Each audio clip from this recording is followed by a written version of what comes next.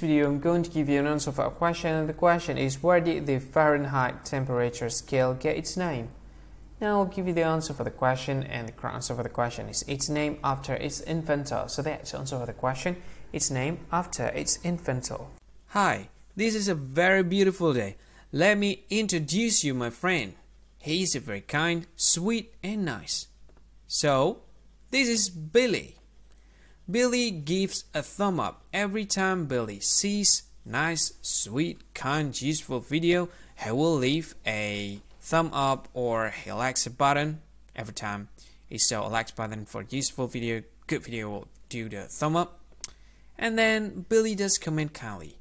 Billy knows that there are so many children on internet use seek looking for some useful information and he knows that every time he wants to command he will do it kindly because he don't want to use bad words. So the kids don't have to see the bad words that was made from him.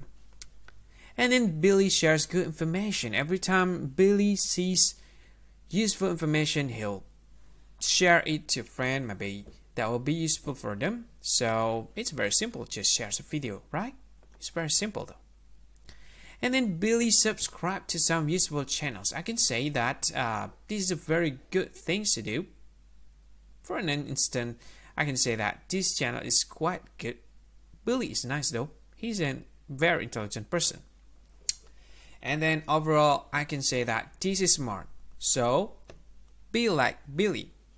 Yeah, this is my friend, Billy. Sweet, nice, smart, and kind person. Be like Billy. Hi, thank you so much for watching this video.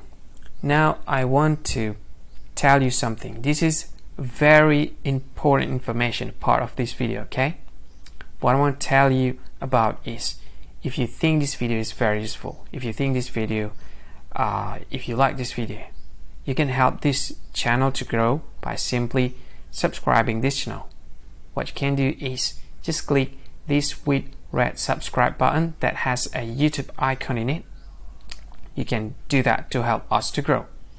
And if you think this video is a good one or you like this video like a lot a lot or you just like it a bit it doesn't matter you can click this this one like button to like this video and if you think this video is not really cool not really awesome or you just don't like this video a lot you can just go ahead click dislike button this one. And of course if you want to share this video with your friend you can just go ahead click this share button. You can share this video to any social media that you like like uh, Facebook and share it to WhatsApp as well to Telegram to VK, to LinkedIn, to Twitter, and many other social media that most of people use at this time. And if you want to watch this video later or you want to watch this watch this again, you can click this one to add this video to playlist and you can play it later. Play it again. This is awesome. And this one, these three dots, I have no idea what this is about. Maybe there's some sort of features that I don't really know.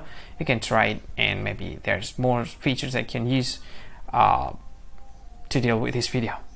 Anyway, uh, thank you so much for watching and see you again in another video. Bye bye. Thank you so much.